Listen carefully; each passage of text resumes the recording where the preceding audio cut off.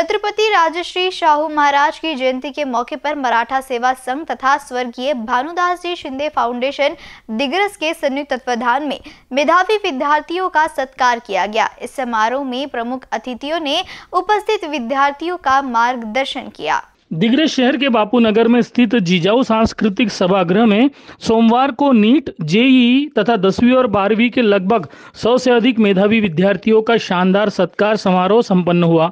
इस कार्यक्रम में पूर्व राज्य मंत्री संजय देशमुख सहित प्रमुख मार्गदर्शक, प्राध्यापक प्रेम कुमार बोके बैंक ऑफ़ महाराष्ट्र के मैनेजर वैभव खरात, सेवानिवृत्त शिक्षणाधिकारी, प्रमोद सूर्यवंशी तथा मराठा सेवा संघ के जिलाध्यक्ष दिगंबर जगताप, स्वर्गीय भानुदास विठलराव शिंदे फाउंडेशन की श्रीमती सीमाताई शिंदे, जिजाऊ ब्रिगेड की प्राध्यापक डॉक्टर अर्पणाताई पाटिल आदि मान्यवर उपस्थित थे। इस कार्यक्रम का आगाज़ छत्रपति राजश्री शाहू महाराज, राष्ट्रमाता जीजाऊ माँ साहेब और छत्रपति शिवाजी महाराज की प्रतिमा पूजन के साथ ही जीजाऊ वंदना और छत्रपति शिवराय पर आधारित पोवाड़ा, यानी शौर्य गीत से किया गया।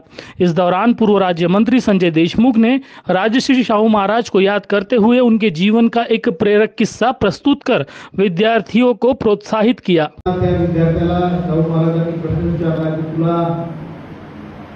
या दहावीपर्यंत शिक्षण घेत असताना काय अडचणी आल्या? तो बाहेरगावी शिकत असल्यामुळे त्यांनी सांगितलं की जी मेस होती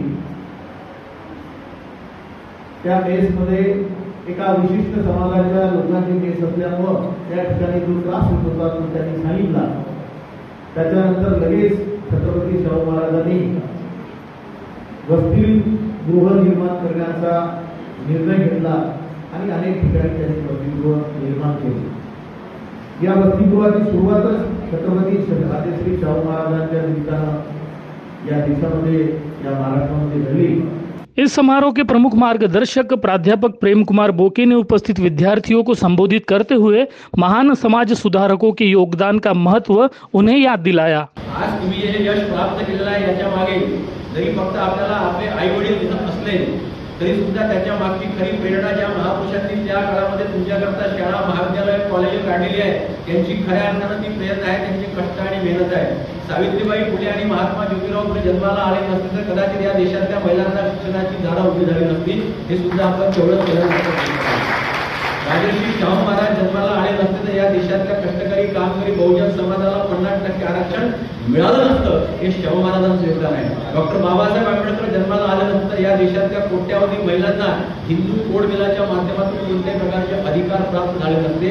जे अधिकार पूर्वी भारतीय राज्यघटना लिहिण्याच्या पूर्वी नव्हते. आणि म्हणून प्रत्येकाचं योगदान आहे. आणि म्हणून आपले आई वडील आपल्याला जन्म देत असतात. हे आपले जन्मदाते आहेत. परंतु आपले खरे सामाजिक मायबाप कोण असतात? तर हे जे महापुरुष आहेत या महापुरुषांनी हा देश घडवण्यासाठी किंवा त्या आमच्यासाठी जे कष्ट घेतलेले आहेत ते खऱ्या अर्थानं आमचे सामाजिक मायबाप आहे आणि म्हणून त्यांचं योगदान आम्हाला विसरता कामा नये.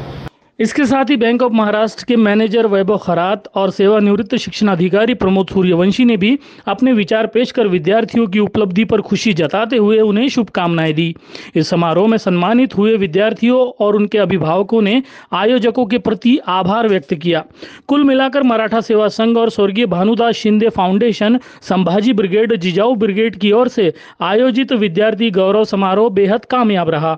कार्यक्रम का संचालन मराठा सेवा संघ के संगठक गिरीश साबले ने किया वहीं प्रास्ताविक मराठा सेवा संघ के सचिव सदानंद देशमुख ने पेश किया और कार्यक्रम का समापन मराठा सेवा संघ के अध्यक्ष अशोक तायडे के आभार प्रदर्शन से हुआ।